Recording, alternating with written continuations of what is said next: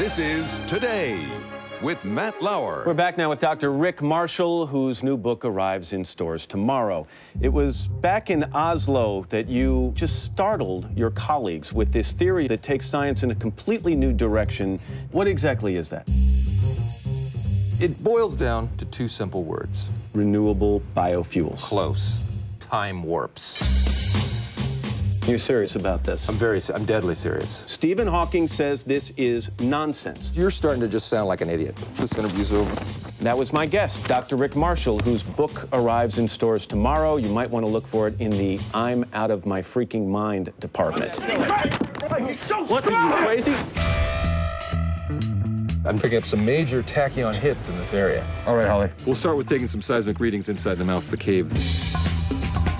Something's happening. This is an earthquake. Greatest earthquake ever known.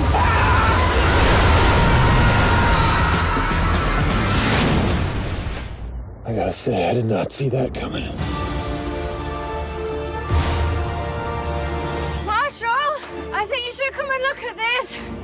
You realize what this means? Yes. Matt Lauer can suck it. Did we go back in time? And space. Drink it in, guys. Maybe the only alternate universe you ever experienced. It's a world of monkey people, Friends? Smells good. lizard people, mysterious creatures. Hmm, and dinosaurs. We're gonna die out here. Relax.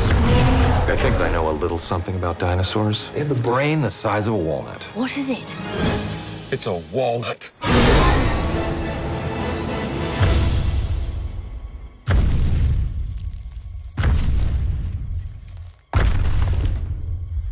He's right behind me, isn't he? I knew it. Just trying to be still. I don't think it's working.